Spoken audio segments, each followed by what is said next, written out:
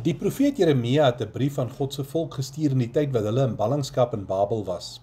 In die brief het hy geskryf oor hoe hulle hulle moes gedra daar waar hulle as vreemdelinge in 'n vreemde land woon. Daardie boodskap is nog net so belangrik vir jou en vir my vandag. Dis baie relevant want ons leef as ballinge in hierdie wêreld.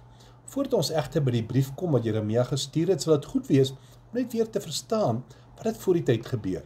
In Jerusalem het Hananja valslik geprofeteer dat Babylon binnekort verslaan sou word, dat alles sou verander, dat die ballinge toegelaat sou word om terug te keer. Maar Jeremia het sterk standpunt teen die leuen ingeneem. Hy skryf 'n brief vir hulle wat in Babylon was in Jeremia 29. Toe hulle Jeremia se brief ontvang het, hulle seker gehoop dat hy sou aankondig dat hulle regtig in die nabye toekoms nuut sou kon begin. Maar in plaas daarvan skryf hy vir hulle dat hulle vir 70 jaar in ballingskap sou wees. Dit staan in Jeremia 29 vers 10.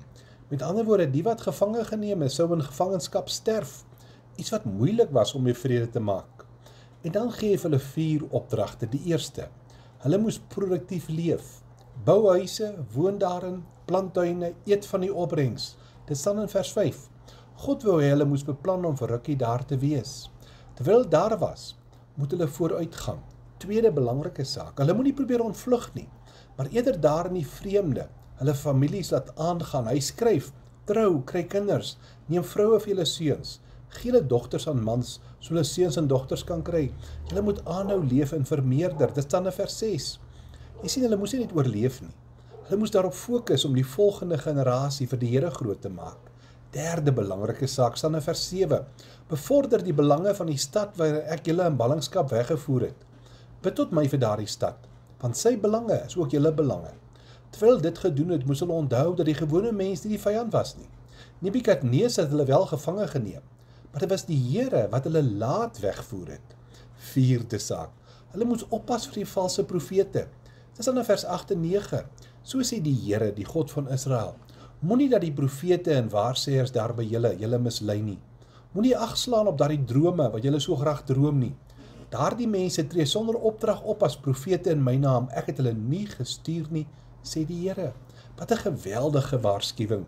En dan was daar die toekomshoop om te onthou. Dis dan in vers 10 en 11. Oor presies 70 jaar sal ek Babel straf. Julle onder my sorg neem.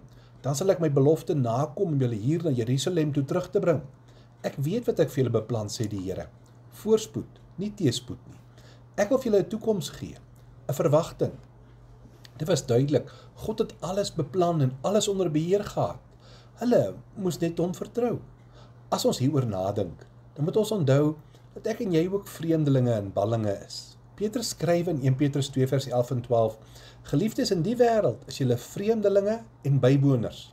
Gedra julle altyd goed onder die heidene, sodat al praat hulle kwaad van julle asof julle misdadigers, hulle julle voorbeeldige lewe kan sien en God kan verheerlik op die dag van afrekening.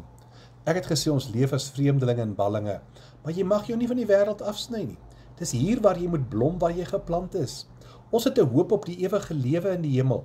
Ons moenie ons verantwoordelikheid hier ignoreer nie. Al is ons anders as die wêreld, mag ons nie vyandig optree nie. Ons weet nie hoe lank dit sal duur voordat die Here vir ons gaan verlos nie. Tog weet ons dat daardie dag definitief gaan aan, gaan aanbreek. Petrus het geskryf in 2 Petrus 3 vers 10: Die dag van die Here sal so onverwag soos 'n dief kom. En op die dag sal die hemel met 'n groot gedruis verdwyn. Die hemelliggame brand en tot niet gaan. Die aarde met alles wat daarop is, vergaan. Hoe lank dit nog is voor daardie dag aanbreek, ons weet nie. Maar laat ons seker maak ons doen dit wat ons in hierdie lewe behoort te doen, terwyl ons uitsien na daardie lewe wat vir ons wag. Kom ons bid saam. Here, dankie dat ons kan blom waar ons geplant is. Dankie dat ons kan uitsien na die dag wat U alles gaan kom nuut maak. Geef vir ons U genade om vandag saam met U te lewe. In Jesus naam. Amen.